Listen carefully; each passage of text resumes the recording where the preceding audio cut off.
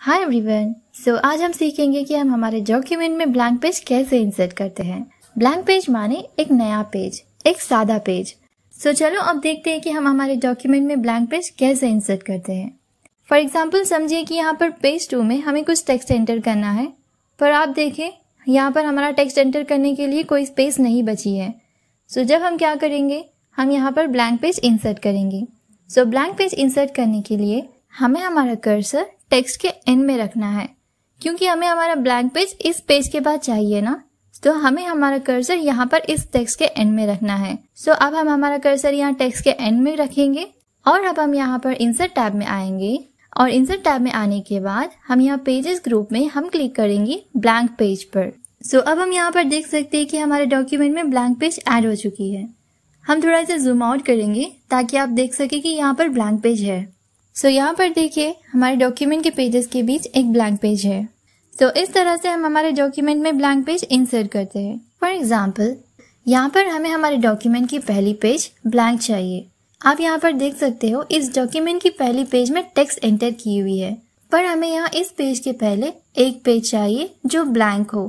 सो so, जब हम क्या करेंगे? सो so, जब हम हमारा इंसर्शन पॉइंट यहाँ पहली वाली लाइन के स्टार्टिंग में रखेंगे हमारा इंसर्शन पॉइंट यहाँ इस पहली वाली लाइन की स्टार्टिंग में रखेंगे और देन हम क्लिक करेंगे ब्लैंक पेज पर। सो so, अभी आप देख सकते हो कि हमारे डॉक्यूमेंट में ब्लैंक पेज ऐड हो चुकी है।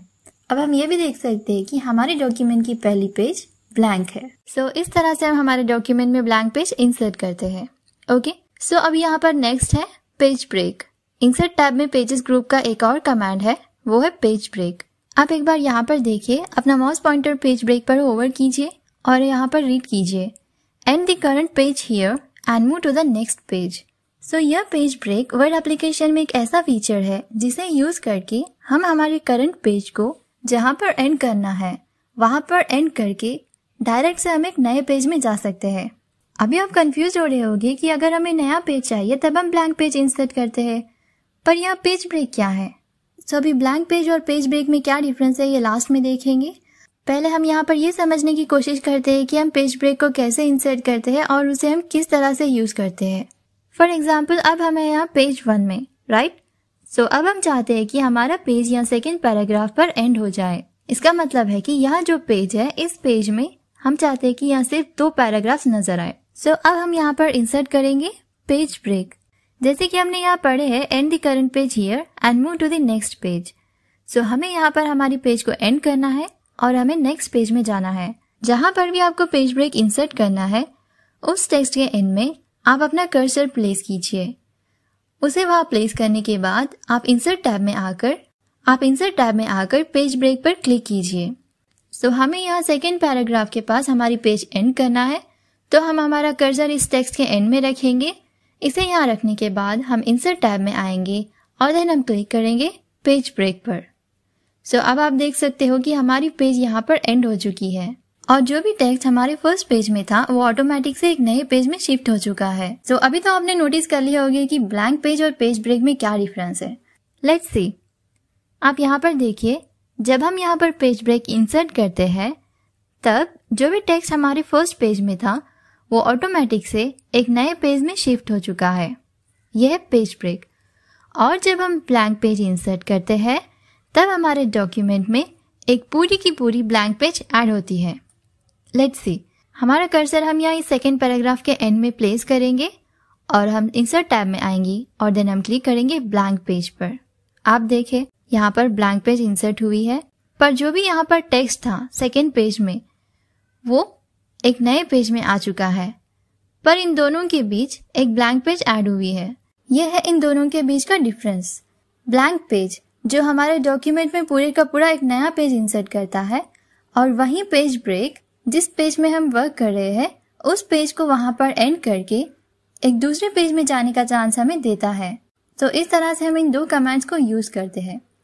पर यहाँ पेज ब्रेक का एक और इम्पोर्टेंट यूसेज है, वो अभी हम देखेंगे। आप यहाँ पर देखिए, यहाँ पर जो ये हेडिंग है how to use page break in Word so यह जो हेडिंग है, वो हमें एक नए पेज में चाहिए। सो so, हम क्या करते हैं जब हम जब यूज़ करते हैं एंटर की। इसे एंटर एंटर एंटर एंटर इस तरह से एंटर प्रेस करते हुए हम उसे एक नए पेज में शिफ्ट कर देते हैं। एज ए बिगिनर हमें नहीं पता है ना कि हमें इसे डायरेक्ट से एक नए पेज में कैसे ले जाना है। सो so हम यहाँ पर एंटर की का यूज़ करते हैं।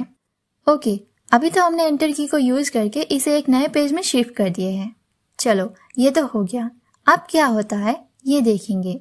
पर उससे पहले हम आपको यहाँ एक बात क्लियर कर देना चाहते हैं। कि यह जो हेडिंग है how to use page break in Word यह हेडिंग हमें हमेशा एक नई पेज के टॉप में ही डिस्प्ले होनी चाहिए। चाहे हम कितनी भी टेक्स्ट एंटर कर ले इसके आगे वाले पेजेस में, यहाँ पर ये कंडीशन है।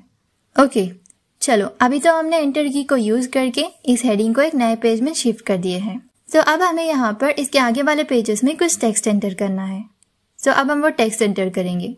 सो यहाँ पर हम रैंडम टेक्स्ट जनरेट करेंगे। सो so, अभी देखिए यहाँ पर क्या हुआ है। क्या यहाँ पर हमारी हेडिंग फ़र्स्ट पेज के टॉप में है? नहीं। जैसे हमने यहाँ पर टेक्स्ट एंटर किए हैं वह हेडिंग पेज के बॉटम में चली गई है। पर यहाँ पर कंडीशन था कि यह जो हेडिंग है वो हमेशा एक नए पेज में स्टार्ट हो और नए पेज के टॉप में ही रहे। पर यहाँ पर ऐसा नहीं हुआ क्योंकि हमने यहाँ पर एंटर की को यूज़ किए हैं। हमने एंटर की को प्रेस करते हुए इस हेडिंग को इस पेज के टॉप में पहुँचा दिए हैं।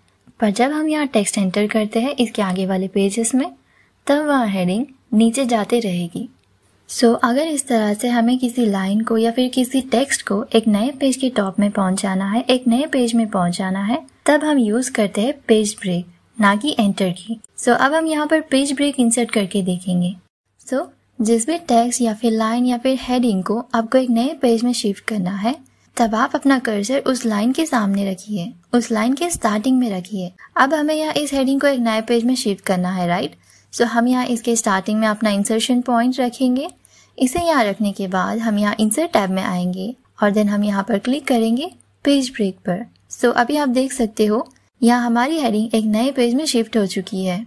इतनी आसानी से हम यहाँ पेज ब्रेक को यूज़ करके एक टेक्स्ट या फिर एक लाइन या फिर हेडिंग या फिर पैराग्राफ जो भी हो उसे हम एक नए पेज में डायरेक्ट से शिफ्ट कर सकते हैं।